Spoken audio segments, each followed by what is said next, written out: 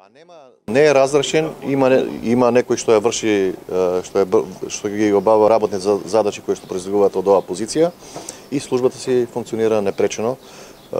Горан Груевски е на боледување и во таква ситуација повторно ќе ви кажам дека има правна пречка за носење на персонални решение и за доставување на, на решение за работен статус. Кога би?